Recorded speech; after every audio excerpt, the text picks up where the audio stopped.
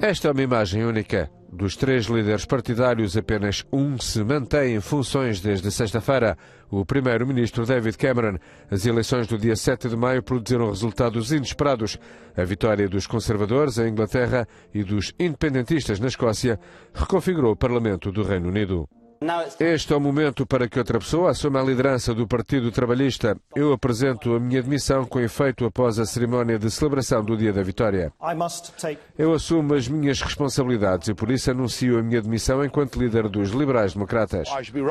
Vou escrever uma carta dentro de momentos para apresentar a minha admissão da liderança do Partido da Independência do Reino Unido.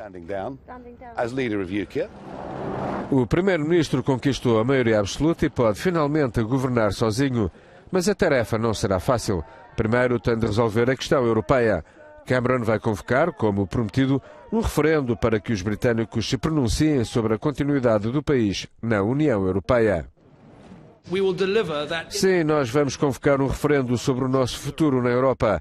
Enquanto levamos a cabo esta tarefa vital, temos de nos assegurar que unimos o país.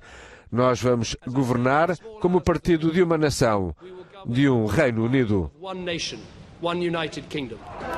Apesar da maioria absoluta, o país nunca esteve tão desunido.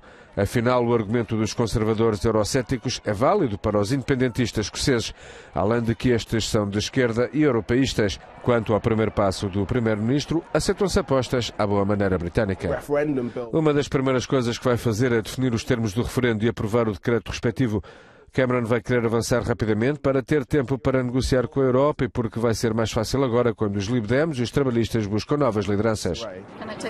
David Cameron tem cinco anos pela frente para deixar uma marca no país. Resta saber se vai deixar o reino mais unido ou se o país se vai desagregar. Uma coisa, no entanto, é certa: o Primeiro-Ministro já afirmou que este será o seu último mandato no número 10 de Downing Street.